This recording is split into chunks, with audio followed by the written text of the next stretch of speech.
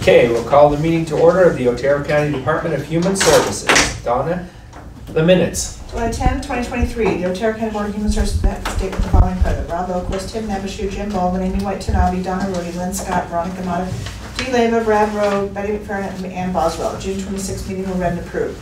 Board approved payrolls for out-of-home core, LEAP, childcare, admin, and the employee payroll. The board reviewed the financial report for May, a copy is attached. Donna gave a LEAP update indicating that all final payments have been made. 1,638 households were approved with an average payment of $675.54 monthly.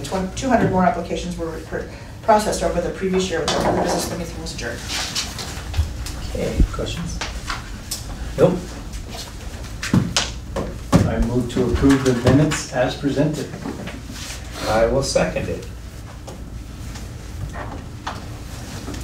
Been moved and seconded that we approve the minutes for July the 10th. All in favor? Aye. Aye. All opposed? Motion carries. Payrolls. We have three payrolls, uh, the EBT payrolls, for, so we have uh, Colorado Work, sometimes also known as TANF, um, the Old AP, which is, OAP, which is Old Age Pension, and A and D, which is A to Needy Disabled. Uh, Nothing really out of the ordinary on these. If you have any questions, I'm happy to try and answer them.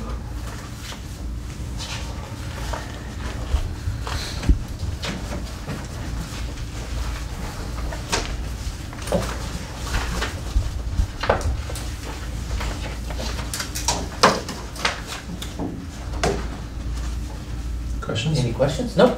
I have no questions, so I will move to approve the payrolls as presented. And I will second it. Been moved and seconded that we approve the payrolls. All in favor? Aye. Aye. All opposed? Motion carries. Core plan.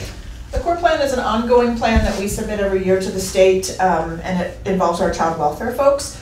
And the core plan covers things like our mentoring and our um, in-home services. It covers our, um, our case aid that goes in and does some intensive work with families. It covers all the work that we do with CBR Youth Connect. Uh, The majority of it goes for mental health uh, type services.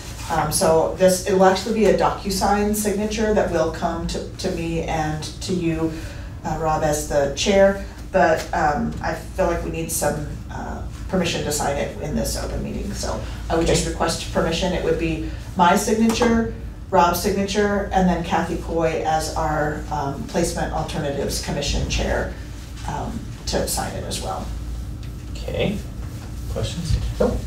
Okay, so I will move to give approval for the signatures as requested on the core plan. Been moved and seconded, I'll second it. It's been moved and seconded that we approve the signatures on the core plan. All in favor? Aye. Aye. All opposed?